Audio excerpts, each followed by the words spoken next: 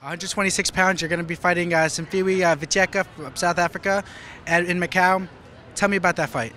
I think it's an incredible fight. Uh, you know, Vetyeka is no joke. You know, he's defeated um, Chris John, who's been the reigning champion for quite a long time, um, and who was undefeated for you know for what 50 some fights or Forever. forever. Yes, yes, one of those, one of those, a lot of numbers. Um, so he's a really good fighter, and uh, even some writers have me go, or actually saying that I'm going to be the underdog going to this fight. So, so you know the caliber of the guy I'm fighting in front of me. Well, I remember the last time you were underdog. Uh, it was a, you fought a guy named Vic Darchinian in I believe 2007, and uh, it wound up being the, the knockout of the year. Um, is that something that actually motivates you to be the underdog? I think so because I've lived my life as an underdog growing up, you know, and I think that it's just when you're uh, the the underdog, you, you know, you uh,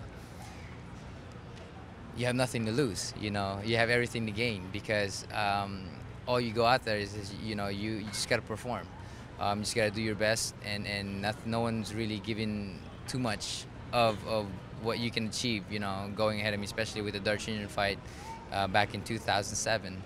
Um, so so it just there's not much uh, pressure. That's why that's why becoming a world champion and staying a world champion for a long time is the biggest challenge because there's just so many things. There's so many expectations from people. So so um, yeah, it, it, feels good to just be to feel like I'm the underdog and and, and going in there and uh, just not worrying about things. How do you remain so hungry after all these years of? I mean, you've been a champion now for about seven years.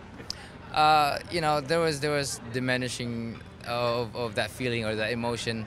But you know, with everything now, uh, the defeat, the, the the family, the son, the uh, the and, and, knowing being in that crossroad of of, of, of uh, whether I want to continue or not, you know, whether I still have the fire, and knowing that, then that hunger becomes intensified even before I became a world champion. So I think that you'll see a, a much more hungry fighter than, than ever.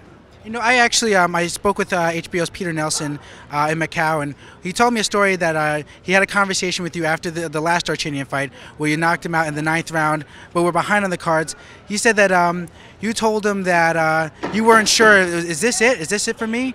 Um, what was it that was able to that enabled you to really dig deep and come up with that knockout? It was probably the first time in your career that you needed a knockout to win. I think that was the first time ever that I needed a knockout to win. Actually, that that was one. That was actually the fight that really woke me up.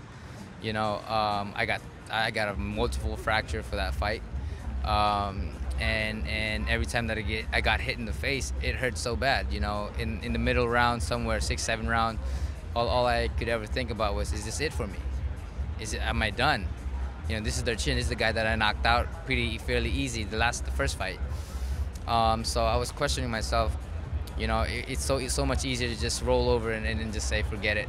Why do I have to suffer more? Why do I have to feel like I could go another round? I can just stop it right here and now, and, and I don't have to suffer too much and have an excuse that I have a broken or fracture fracture, uh, you know, in places in my face, and I could just make that an excuse, but. I realized that I have more balls than than, than, than what I think. I, you know, I give myself credit. You know, I could not let myself do that. I just couldn't. You know, and and um, and that's why I realized now um, where I'm going to be in boxing, and I'm going to be here for a long time because I know exactly where I'm at, and and um, and because of that fight, realized that I do truly want to be here, and I want to be on top, and and and uh, it woke me up. Well, I, I finally got to uh, meet the uh, the newest Donaire, um, Jarrell, of course. Um, tell me about um, what that's been like. You know, you, have been a father now for I believe a year now or so. Uh, eight months. Eight months now, coming up on a year. Tell me what that's like. It's a new experience for yourself it's amazing, man. You know, there's so much trials because um, it's you gotta kind of know how to, you know. How, I mean, there's a lot of responsibility. You know, for me, I, I chose to bring him. Like that's where everywhere I go, he's always with me. You know, because I don't want to miss. A, I don't want to miss a, a, moment of him growing up. Even a, a, month, a week, even a week or a, a couple of days was, was so much. You know, for being for being so young, it's it's it's they grow so fast and. Um, just just living every moment of it with them. It's it's been amazing. It's been such a uh, great. I mean, it's amazing, you know, and and there's really nothing else that I could I could really uh, compare that to. You, you know? push the uh, the shot the, the the stroller while you're doing your running in the morning. no, I don't. I don't do that because you know he's he's a he's a heavy sleeper when it comes down to like he, he sleeps long, so I don't want to wake him up or anything like that. But I do a lot of things, uh, uh, you know, like just changing him, uh, watching him, playing with him, feed him, you know, all that stuff. You know, I, that's one thing that I enjoy, and and the, the the most that I truly look forward to each day is when he falls asleep on my chest or in my arms. Nothing beats that. What's harder, raising a child or training for a fight? Um, I would say that, that raising a child brings every emotions from you because you, you can't neglect yourself you know you can't neglect what what's what's around you you know. Training it's it's so easy. It becomes it becomes uh, something that you memorize your body memorize and it becomes just just from step A to Z you know. But with with the child it, changes every every week. He changes his ways of sleeping his, his his ways of eating his ways of doing things he's learning everything you know, and, and it's, it's, it's amazing, but at the same time, it's, it's very challenging. And um, also, I want to ask you about um, because uh, you, you talk about yourself as a father.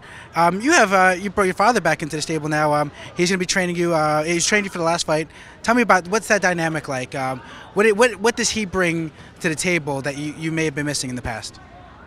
Uh, to be able to use my head all over again. You know, I just got used to just just going with the flow. You know, this time around, we're returning back to how we fought, uh, using our head and, and, becoming a better counterpuncher, becoming a faster fighter, and just an all-around type of fighter like I was before. So um, that's something that's coming back, and, and, you know it's a blessing that we have two months or more to to work uh, for for the next fight. You know, the last fight we didn't get enough to work for, you know, to work together in terms of, of learning the things all over again. But this time we have the opportunity to, to uh, for my body to memorize the things that, that we had before. I also want to ask you about um, yeah, you're going to be training here in Manila. Is that correct? Um, will uh, Robert be joining you? Uh, I think Robert will be training Maidana for the Mayweather fight. So mm-hmm. um, maybe after that. But will he be uh, giving you like some instructions? Uh, I know he had been a strategist for you in the past.